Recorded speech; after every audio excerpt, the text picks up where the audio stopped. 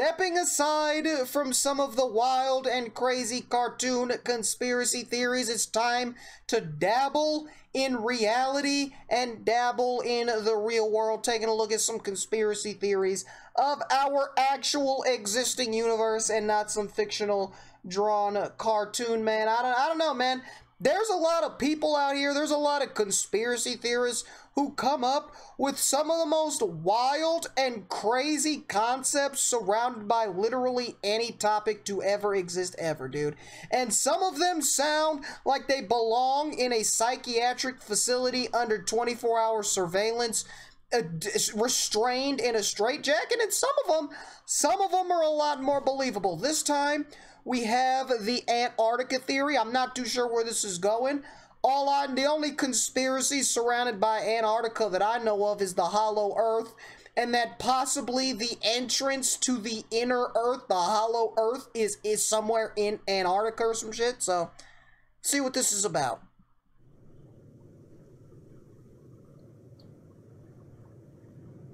The Antarctica theory.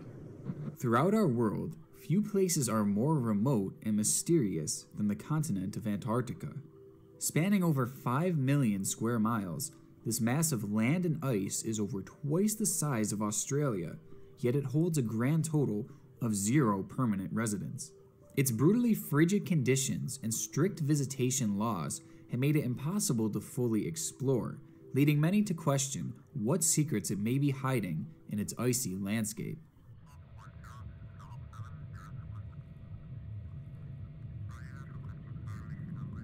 What is... What the fuck was that? The in... The invasion! In the mid to late 1950s, the United States was heavily invested in nuclear technology, and specifically nuclear weapons. Right. In the midst of the Bikini Cold bottom. War, it was imperative for the country to gain superior knowledge on the subject than the Russians. Because of this, the United States was constantly building and experimenting on all things nuclear. Over the course of the Cold War, over 1,000 nuclear devices were fired as part of U.S. government experiments, with few being as controversial as the experiments conducted in Operation Argus. The main goal Argus. of Argus was to test the effects that nuclear weapons had in colder, high altitude regions. With these experiments, an estimated three nuclear missiles were fired in the vicinity of Antarctica. However, the results of this experiment were never finalized, and the whereabouts of the location in which the missiles hit is still very much a mystery. Following this test, the task force in charge of the program was quickly dissolved, and the majority of the documents associated with the project were destroyed. Like everything, bro. It seems it seems like every type of controversial governmental like experiments that they do, they always, always get shut down and the records just get burned into existence, bro. Like the shit with the CIA brainwashing people. Now we got this nuclear stuff, bro. Like they're just like they're fucking around and then just pretending like nothing ever happened, dude documents was also the film reel that would have shown actual footage of the tests. So this alone is pretty sketchy. The destruction of evidence, the hiding of evidence as to what happened there, is something that definitely raises some red flags, but it's also something that's not too surprising for that time period. But where this whole situation gets very strange is when you take a look at a previous mission that took place in Antarctica that has confused the public to this day. In 1946, the United States Navy sent troops to Antarctica to supposedly set up a military base and to train them for cold weather conditions as part of Operation High Jump. Now, this wasn't a small convoy or anything like that. All in all, 4,700 troops were sent up to the frigid landscape Jeez. in December of that nice. year. Nice. Imagine, imagine signing up for the Navy, thinking you're about to go to war to blow up some commies or something. It's like, oh, hey, by the way, you get to spend your uh, the next few weeks in the frigid, desolate location of Antarctica, dude. You're you're you will freeze your nuts off literally. You will have no sense of warmth any part of your body. Like, dude, I, I hate life at this point. The operation lasted just barely a few months as the weather conditions supposedly got too severe. Which, I mean, I'm not sure what they were expecting there, if we're being honest. I mean, it, it, it's Antarctica In total, it was reported that four men lost their lives in the short expedition. However, some believe that the number is actually much higher than that, and that in their time up there, the United States Navy was attacked. It is theorized that upon the trip through the harsh landscape of Antarctica, the brigade was attacked by unknown crafts, which forced them unknown, to retreat out of the area. crafts. The attack was highlighted in a now leaked Soviet report where KGB agents had gained knowledge from U.S. soldiers present at the site of the attack. The U.S. soldiers claimed that while they were being attacked by these hostile forces, they reportedly opened fire on the crafts, ultimately shooting one down into the water below. However, okay. the advanced technology of these crafts proved way too much for the fleet to handle, and they were forced to retreat after losing several aircrafts and men in the attack. After the fleet returned back to the United Aliens. States, one of the leaders of the expedition, Admiral they got Byrd, a, they got ambushed by they got ambushed by aliens. Fleet returned back what? to the United States. One of the leaders of the expedition, Admiral Byrd, began discussing with the media that the United States should set up defense bases in the polar regions and that flying crafts from the area posed a serious threat to the United States. After these shocking and controversial statements, Byrd was thrown into a mental institution and never heard from again. Nice. Piecing together the alleged attack on Operation High Jump with the subsequent bombing of the region with Operation Argus, the whole situation leaves a dark theory some believe that Operation High Jump was actually an invasion of Antarctica in order to fight off some mysterious force. I mean, why else would they send that many soldiers? Wait, so this they're saying so they're saying that it wasn't actually training. They didn't send the troops up there for the purpose of training them in cold weather. They sent the troops up there because there was some threatening threatening force up there and they went to go they went to go neutralize it. There. Like, do you really need 5,000 men to set up a research base? And maybe when this operation failed, and when the United States Navy realized that they were no match for this advanced weaponry, perhaps they fired those nuclear weapons to take care of the enemy once and for all. Now, I feel like this theory is definitely out there, but the fact that it was in an actual Soviet report, and the fact that Byrd was speaking out about this enemy and was quickly silenced, makes it still intriguing to me. Plus, I can't get over why they would send that many people up there to set up a base, and I can't get over why they would fire those nuclear weapons in Antarctica for research when they didn't even end up posting any actual research from their findings. And what about the tapes? Okay, you know what? Let, let me chill. Let me chill real quick. So obviously, I have a lot of nice. questions about this theory. I mean, he's not wrong. He's not. There's, there's a lot of very shady, unanswered questions. The only thing I could have say is maybe maybe they, you know I'm saying, they, they pulled up to Antarctica for the purpose of their research or whatever, and then some foreign enemy found out about it and then pulled up on them and started spinning the block, all out warfare, and then the people were already in Antarctica. I think this is the U.S., right? Or, or, or he said something about the Soviets, right? Whoever the fuck's in Antarctica, they got clapped, dude. They got pulled up on and clapped, so they dipped and then that's it. That's that's the only explanation that I have. Is is that maybe somebody else pulled up on him? Perhaps the biggest one to me is what actually was this unknown force that may or may not have attacked the Navy that day. And the theories into this are just flat out crazy. Aliens! Here we go. Many of the most Here popular conspiracy theories surrounding the region of Antarctica deal with alien life. Its vast and unexplored landscape makes it one of the only places on Earth that could really hold alien life that would go completely undetected. Like, aliens could just be chilling up there right now, and guess what? Uh, we'd have no idea. I mean, I'm not saying they are, but we really can't say that they aren't, right? Now, throughout the years, many have not. pointed to things like they these not. pyramids. Maybe. Oh my god, I just had a revelation I just had a revelation. Antarctica. Where is Antarctica in terms of the entire globe? It's the North. You know what else is in the North? The North Pole. He said that the aliens very well could be here. We wouldn't know it. You know who else we don't know exactly where they are, and eh, we don't we don't know who where they are when they show up. Santa Claus. Maybe Santa Claus is an alien. and he's kicking in the North Pole. And then they pulled up to Antarctica, and Santa seen them as a threat, so he sent out his his, his, his military elves, and they wiped the fucking floor clean, got him the fuck out of there, so that he could continue to run it, run his workshop in peace. I, I figured it out, dude. I, th- I think I've got it figured out, bro. they are bases of aliens. Antarctica is in the South Pole. Now I look dumb as hell, dude. Nice. They think that aliens actually created these things.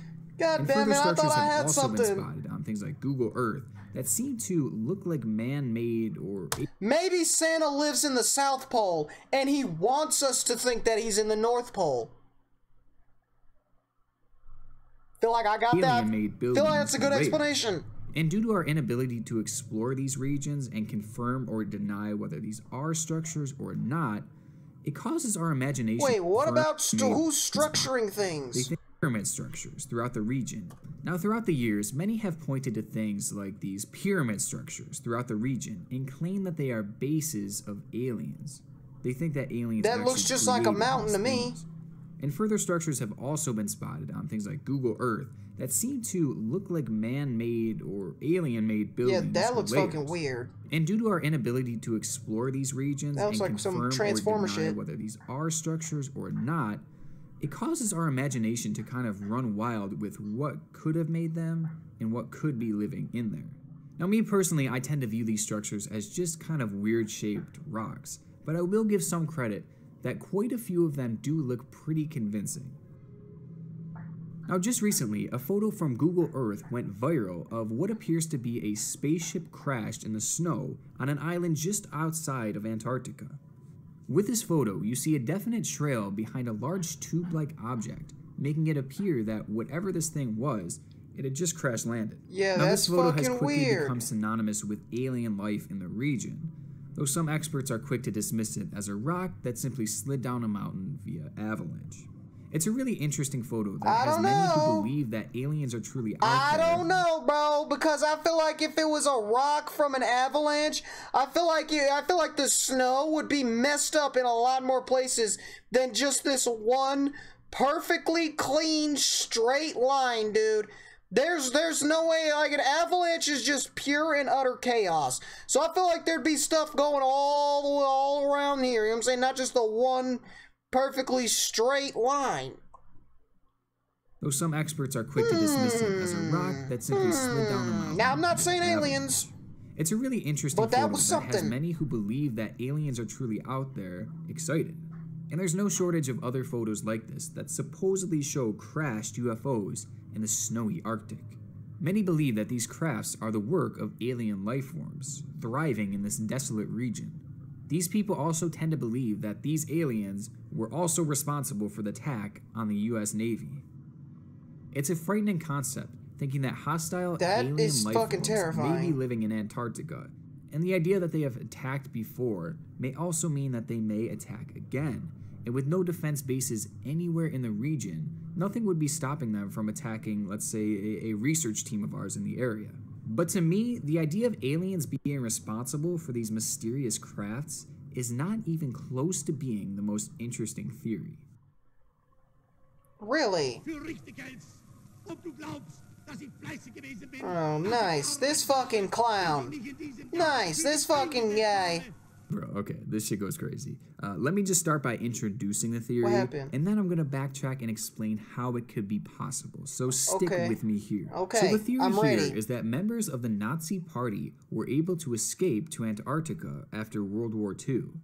It's said that the Nazis also took with them advanced weaponry from the war, weaponry like flying saucers that were responsible for the attack on Operation High Jump. Okay, so confusing and weird, I know, but let's. I mean, hey, I mean, hey, isn't that what I said? Cause this is what the 1940s, right? This is this is like right before. This is right. This is right before the um World War II, right? World War II was the 50s, I'm pretty sure, if I'm not dumb as hell. So I mean, that's that's what I said. I said, what if it was some like type of foreign foreign enemy, right? The Nazis, and they just fucking pulled up on them. Like, like that, that's what I feel like. That's a pretty solid explanation. Even before the start of World War II, Hitler had a fascination with Antarctica. There, he sent multiple fleets to survey the landscape and supposedly look for margarine fat due to the fact that the country's supply would soon be cut off during the war.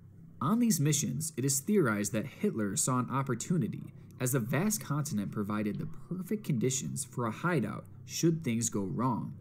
Now, fast forwarding a bit here to the actual war, it is no secret that Nazis were innovators and they were obsessed with creating new and crazy technology. These technologies included things like wonder weapons and all sorts of other shocking and disturbing things. And it is believed that at one point the Nazis set their sights on creating an advanced aircraft that would be ultra powerful and especially difficult to bring down. These crafts would have been something completely new to our world if they were actually able to create them. That's and in this crazy. Theory, believers claim that they actually did. They believe that the Nazis were able to build these flying saucers in secret and use their overpowered weaponry to defeat their enemies. Dude, this, see, bro, the craziest thing about this is this isn't that crazy. Like, the Nazis were definitely like technologically advanced people, bro. Like they and, and, at the beginning of the war, the Nazis were beating the shit out of everybody because they had the best weapons, they had the best planes, they had the best tanks, bro. When America decided to start to fight, the first tanks they threw out there got clapped up by the fucking Nazis. So I, I feel like the Nazis, yeah, when it comes to technology, bro, the Nazis were on a whole other level at that time, dude. So this this doesn't sound that bad. Yeah, all the other crazy stuff that they were able to invent. I mean, it's still improbable, but it's definitely not impossible that they were actually able to accomplish something like this. Okay, so if they had this advanced weaponry, how did they end up in Antarctica?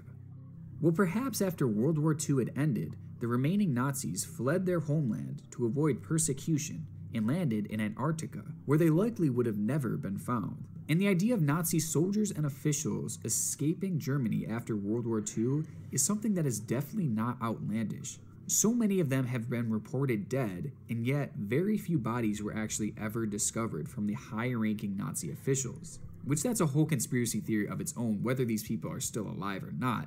But if they are, maybe they fled to Antarctica.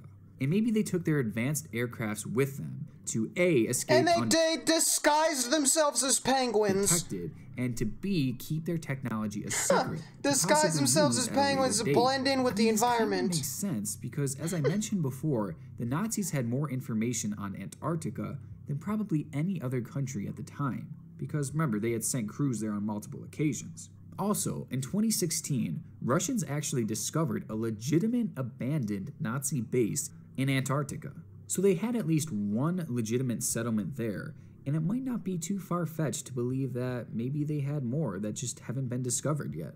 So perhaps when the US Navy was visiting the area way back in 1946, they stumbled a little too close to the Nazis' secret base and the Nazis used their advanced aircrafts to fire at the crews and deter them from coming any closer and truly discovering their hideout. See, that can make a lot of sense. Further, I feel like this is the most logical one. I, I feel I feel like this is the most logical one, dude. Just just just knowing the timeline and the history. Retaliated by shooting those missile tests in the area in order to secretly and quietly kill off the remaining Nazi troops. It is so crazy to think about. It is so weird. It is so probably not true, but it so totally could be. Maybe someday we'll find out if there was any truth to these wild theories. But until then, many of us will remain fascinated by the mysteries of Antarctica. Nice. So, An- Antarctica is apparently either inhabited by a, a secret society of aliens or it was formerly inhabited by a secret group of Nazis hiding away from persecution, dude.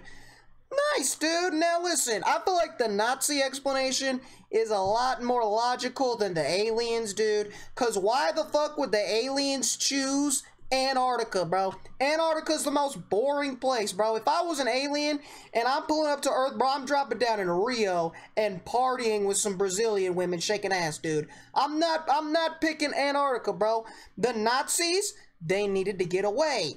They didn't want to get arrested, so they pulled up to Antarctica. They had, a, they had a base in Antarctica. So I think when the Navy got attacked in Antarctica, it was probably the Nazis, like I said at the beginning, dude.